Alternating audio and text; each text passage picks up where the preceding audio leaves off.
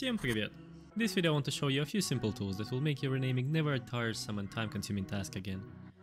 I have tools for batch renaming views, sheets, room names, family types, and if you have any other suggestion drop a comment below and I might add it in the EF tools later.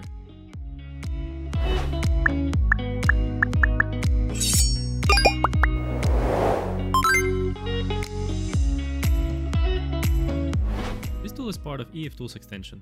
It's absolutely free and you can follow the link in the description that will show you how to install it. You can help me spread the word about this extension by subscribing to my channel and liking my videos so more people can find out about it. Now let's go back to renaming tools. Meanwhile I have prepared this file where I have already duplicated views and sheets but haven't renamed them. I want to do this together with you. So let's start with the views. To do this, select all the views you would like to rename at once, come to EF Tools tab Look for naming and click on this rename. There are a few options here. In this case, I want to click on find and replace views. A dialog menu will pop up and there's only 4 parameters and they do exactly what they say. I want to take this hashtag symbol with a star. I want to replace it with a type. I don't want any prefix or suffix, so I'll just click on rename. Also, I've noticed that we need to change numbering on these views. Go to this tool again. Then I type 02.01 and I've typed here 02.02. Rename. And we have renamed all of our views. Now let's go to the sheets. Same as with views, I select all of my sheets all at once. Go to rename pull down menu. Here look for find and replace in sheets. Click on this one. It's the same dialog box, but there are two columns because one is for the sheet number and the other is for sheet name. First of all, let's replace 02.01 with 02.02 and in sheet name, I would like to replace hashtag with a type. Okay, now I want to get rid of the star. Click here. Put here a star and I replace it with nothing. Just rename. And here we go. These tools cannot be any simpler. It also works with room names and family types. Let me show you how it works. To rename your family types, there are two ways you, you can do it.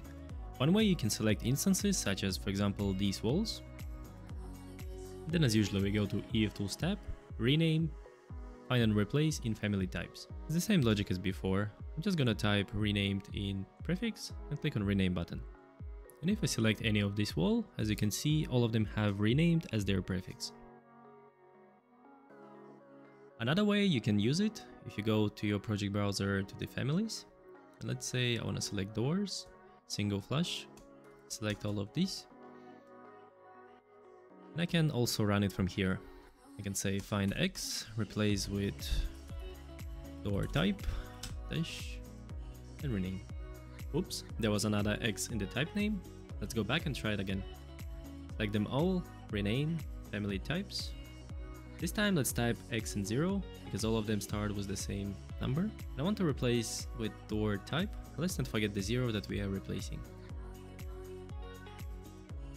This time it worked exactly like I wanted. Sometimes you need to think twice to achieve the exact result you want. By now, I think you get the idea how these tools work, and I don't think that I need to show you how to rename multiple rooms at once.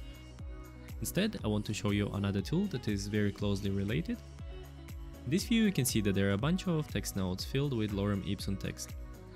I can select all of them, go to EF Tools tab. If I click on text transform, I get similar window, but there are also some extra buttons on the bottom. First, let's find all the dots and replace it with multiple dashes. Rename. You can see that text updated. And also this menu is not closing, it stays. So you can make multiple changes. These buttons can transform your text depending on what you want. You can make everything to uppercase or maybe lowercase. You can even reverse your text. I don't know any reason that you would want to do this, but in case you want, please be my guest. Thank you everyone for watching this video, and I hope that you will become a user of EF tools. No doubt there are lots of benefits for you to become one. I'll be posting more videos that should make your life easier, so stay tuned. Thank you for watching, goodbye.